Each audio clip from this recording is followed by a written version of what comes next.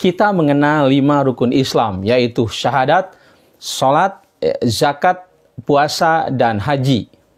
Dalam implementasi atau perwujudannya, jangan sampai satu, syahadat doang. Artinya hanya diucapkan saja syahadat itu tanpa dibarengi dengan pelaksanaan. Syahadat kaitannya dengan tauhid, syahadat kaitannya dengan iman. Iman idealnya harus diiringi dengan amal soleh. Kalau kita hanya syahadat doang tanpa diiringi dengan amal soleh, berarti syahadat kita dipertanyakan. Apakah betul-betul tidak syahadat kita? Apakah betul-betul gak keimanan kita, ketauhidan kita, persaksian kita kepada Allah? Tentu jangan sampai menjadi syahadat doang tanpa diiringi oleh amal soleh. Yang kedua, sholat belang. Sholat belang betong. Dalam bahasa Sunda itu artinya Kadang-kadang dikerjakan, kadang-kadang tidak.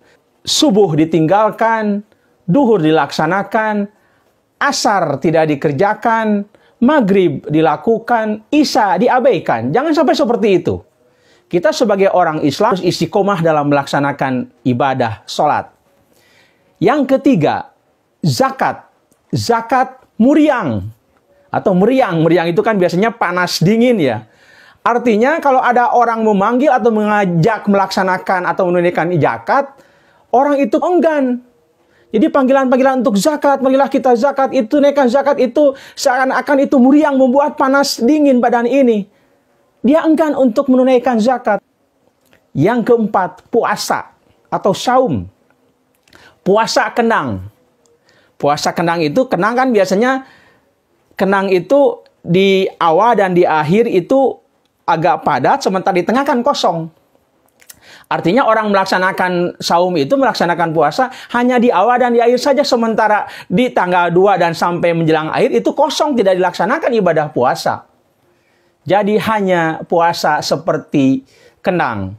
Awal dan akhir dilaksanakan, sementara di tengah-tengahnya dia tidak melaksanakan ibadah saum.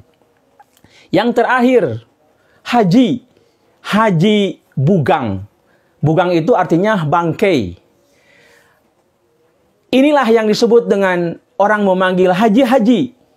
Haji-haji kok korupsi. Haji-haji kok berzina. Haji-haji kok mencuri. Haji-haji kok tetap kikir. Idealnya telah melaksanakan ibadah haji.